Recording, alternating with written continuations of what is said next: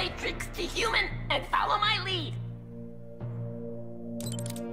On the count of ten. One, two, ten!